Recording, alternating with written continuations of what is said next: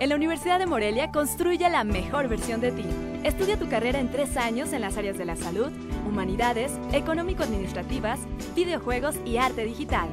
udemorelia.edu.mx, teléfono 317-7771.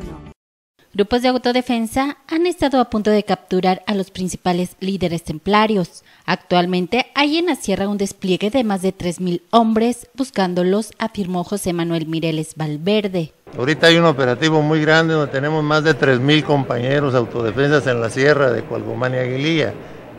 Eh, andamos cerca de algunas cabezas grandes. Al término del encuentro que sostuvieron líderes de autodefensas con el diputado Silvano Aureoles, aseveró que fueron solo 20 minutos los que tuvieron de diferencia para poder realizar dicha captura. Ayer se nos escapó a las 10 de la mañana Chayo, de un rancho que está cerca de Tumbiscatío. Se nos escapó por 20 minutos. Pese a lo declarado por las autoridades que han dicho que el Chayo está muerto, Mireles Valverde afirmó que autodefensas y empresarios se han reunido con él para comer. Tengo compañeros que han estado comiendo con él. Compañeros.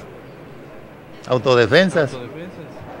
Compañeros que tuvieron que venir obligadamente a las reuniones aquí al rancho que tiene cerca de Apatzingán. Son empresarios.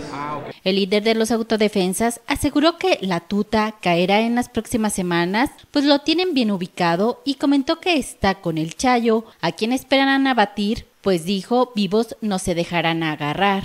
Ahorita andan juntos, a lo mejor tenemos suerte. Traemos 3.000 gentes allá atrás de ellos, ahorita en este momento. Ustedes saben que desde la cárcel pueden seguir dando órdenes.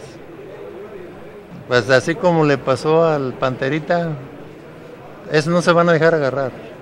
Definitivamente no se van a agarrar. Aseveró que no hay prioridad en alguna captura, pues se desea atraparlos a todos para terminar así con las acciones y regrese la tranquilidad a sus comunidades. Con información de Felipe Bárcenas, informa Cuasar.